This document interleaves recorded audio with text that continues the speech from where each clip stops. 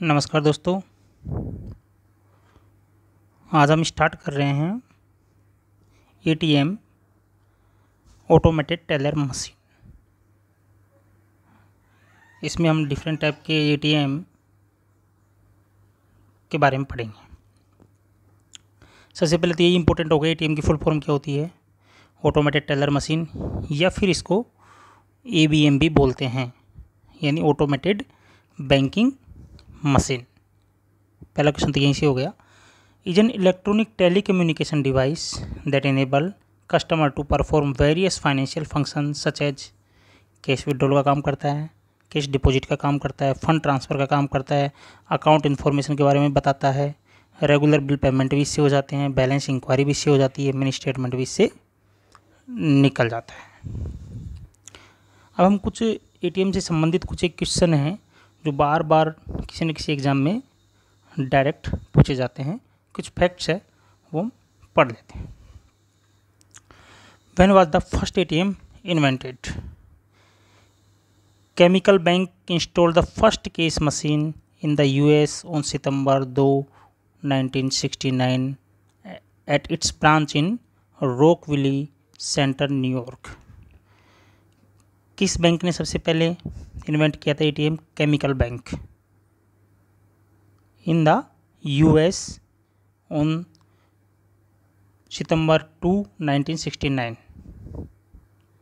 New York ठीक है? ये वैसे कई भी बार पूछा नहीं गया लेकिन फिर भी याद रखना है, ज़रूरी भी है। कई बार डायरेक्ट क्वेश्चन पूछ पूछ लेते हैं। When was the first A T M installed in India and who installed it. ये हमने पहले भी पढ़ा है। H S B C bank, full form क्या है इसकी? Hong Kong and Shanghai banking corporation, installed its A T M and India's first A T M India's first A T M India का फ़र्स्ट ए टी एम किसने किया? H S B C bank ने Hong Kong and Shanghai banking corporation ने। At their Sahar road branch Andheri east in Mumbai 1987 में। कितने question बन गए? H की फुल फॉर्म हो गई, फ़र्स्ट एटीएम किसने किया एक क्वेश्चन ये हो गया, और कौन से ईयर में? 1987 में। वर्तमान में लगभग साढ़े तीन बिलियन एटीएम मशीन है all over the world who invented the A T M the A T M was invented by John Shepherd Barron John Stephen Barron British का था। एंड डोनाल्ड वेल्च एक अमेरिका का था। John Shepherd British, Donald Welch America का था। कुछ एक जून 2019 की डाटा है। इंडिया में लगभग सवा दो लाख के आसपास एटीएम हैं। जून 2019 के बाद में भी चेंज हो गए होंगे। याद रखने की ज़रूरत नहीं है। एक ओवरव्यू देख लेते हैं। महाराष्ट्र में हाईएस्ट नंबर ऑफ़ एटीएम है, अभी भी हाईएस्ट ही है। एसबीआई बैंक के हाईएस्ट एटीएम इंस्टॉल्ड है इंडिया में। ये ज़्यादा इम्पोर्टेंट है। Ahmedabad is the city to have India first talking ATM first पहला बोलने वाला एटीएम कहाँ पे? लगा था अहमदाबाद में, अब तो और भी जगह लग गया होगा, लेकिन पहला बोलने वाला एटीएम कहाँ पे? अहमदाबाद में। एटीएम के टाइप्स को दो आधार पर बांटे गए हैं, एक तो लोकेशन बेस्ड और एक operation based on site ATM क्या होते हैं?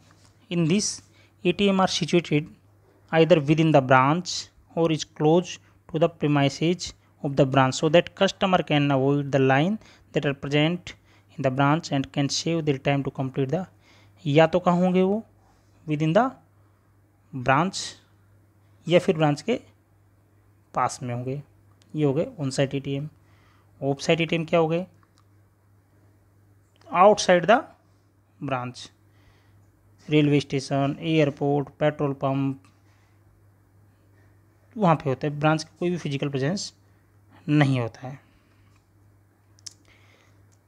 एक हो गया वर्क साइट ए टी ये वर्क साइट ए टी कहाँ लगाए जाते हैं? जैसे कि कोई ऑर्गेनाइजेशन है कॉलेज कैंपस के अंदर लगा दिया, कोई कंपनी के कैंपस के अंदर लगा दिया।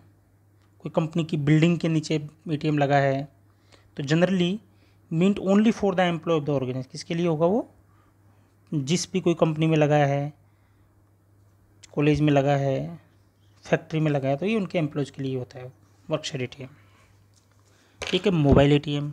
मोबाइल एटीएम नाम से ही पता लग रहा है कि चलने फिरने वाला A T M also now is A T M on wheel in this the A T M move in the various area of the customer to let them use their service this is done for the convenience of the customer mobile van घूमती रहती है।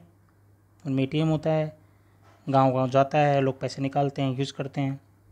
ये important इसमें यह है कि I bank was the first private sector bank to start mobile A in India as per now some other bank also started लेकिन जो सबसे पहले किसने स्टार्ट किया था? सबसे पहले फ़र्स्ट आईसीआईसी बैंक ने स्टार्ट किया था। अब तुरंत याद करो कि इसकी फुल फॉर्म क्या बताई थी मैंने। Types of ATM operation based हमने पढ़ लिया लोकेशन बेस्ड पढ़ लिया। लोकेशन बेस्ड अपने कौन कौन से पढ़े थे? ऑन साइट हो गए। ब्रांच के पास या ब्रांच के अंदर। ऑफ़ साइड हो गए। रेलवे स्टेशन एयरपोर्ट मॉल्स वगैरह वहाँ वर्क साइट एटीएम हो गए। एम्प्लॉयज़ ऑर्गेनाइजेशन के लिए होता है वो। मोबाइल ए चलने फिरने वाला एटीएम आईसीआईसी बैंक ने फ़र्स्ट प्राइवेट सेक्टर बैंक था, जिसने स्टार्ट किया था।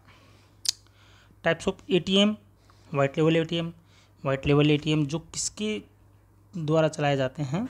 नॉन बैंकिंग फाइनेंशियल कंपनी के द्वारा।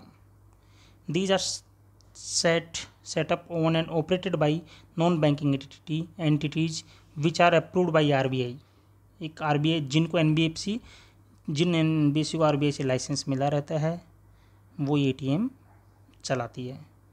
एन बी एफ़ सी किसमें आती है? Under the companies act nineteen fifty six N B F C कौन से एक्ट के तहत आती है? Companies act nineteen fifty six white level ATM कौन चलाती है? एन बी एफ़ सी चलाती है, जिनको आर बी आई लाइसेंस देती है। कौन से एक्ट के तहत में? नाइनटीन फिफ्टी सिक्स एक्ट के तहत में।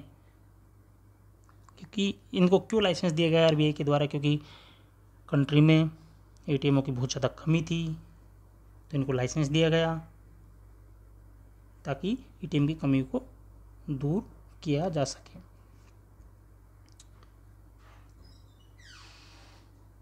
Tata was the first company which launched their white label ATM in the country with the name of Indicase. ये भी बहुत इंपॉर्टेंट है। Tata was the first company which launch their white level A T M in the country उसका क्या नाम था? इंडिकेश था orange level use for share transaction के लिए यूज़ होता है ये। भी इंपॉर्टेंट है, कई बार पूछा जा चुका है। Yellow level A T M use for e commerce के लिए यूज़ होता है।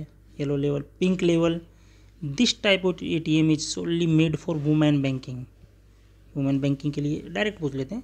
Brown level A T M in this type A T M the hardware and lease of the A T M is own by the service provider जो machine होगी और जो मकान में जहाँ पे ये लगा है बिल्डिंग में लगा है, उसकी लीज ये तो सर्विस प्रोवाइडर देगा।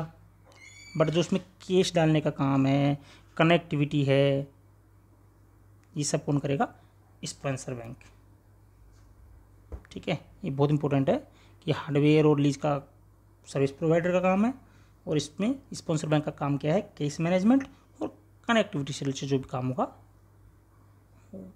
ब्राउन लेवल एटीएम में स्पॉन्सर बैंक का होगा। केस डिस्पेंसर मशीन होती है। Perform certain function like cash withdrawal mini statement request and balance enquiry hope so ATM आप लोगों को समझ में आया होगा। कोई भी क्यूरी हो तो आप इस नंबर पर व्हाट्सएप के थ्रू मैसेज कर सकते हैं। आपकी समस्या का समाधान होगा। वीडियो के अंत में मैं आपसे एक बार फिर रिक्वेस्ट करना चाहता हूँ कि आप चैनल को ज़्यादा से ज़्यादा सब्सक्राइब करें। धन्यवाद।